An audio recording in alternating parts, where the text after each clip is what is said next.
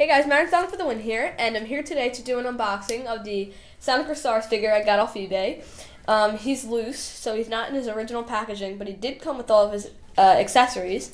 And um, I don't know if you guys know this, but I do have a new, untouched um, Sonic figure up in my bedroom. He's on my wall. He's new in his original packaging.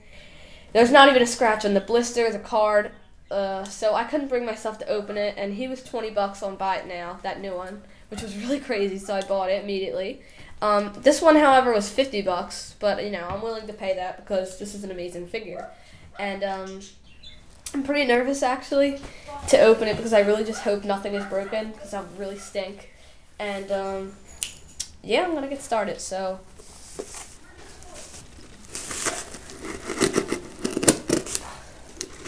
And if it's not broken, there'll be a review soon, so stay tuned for that.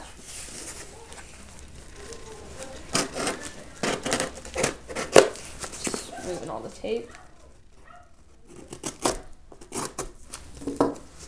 Alright, I think I got this done.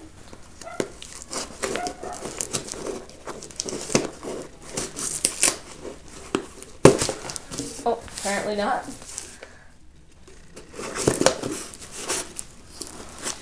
Okay, these sides tape really well.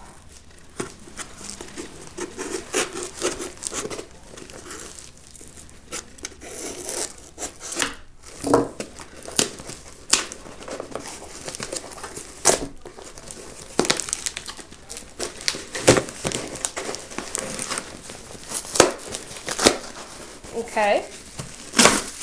And, uh, well, there popped out something in a plastic bag. And this seems to be the figure.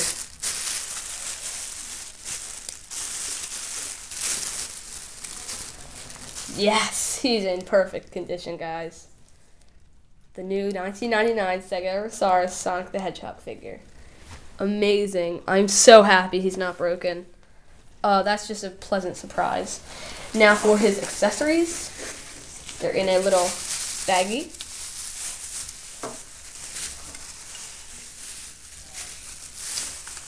Here is his golden base stand. Not a scratch or anything on it.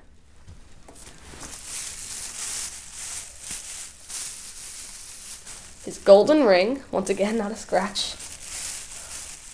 And the clear rod, nothing was broken. Wow, that's amazing. So, um, thank you guys for watching. I'll give you a shot of him, Sonic Resaurus. Amazing. It's going to be a review, definitely. So, um, I hope you guys enjoyed this unboxing, and hopefully it's a preview of what's yet to come, because I got to finish my Resaurus collection. But, um, yeah, see you guys later. Bye-bye.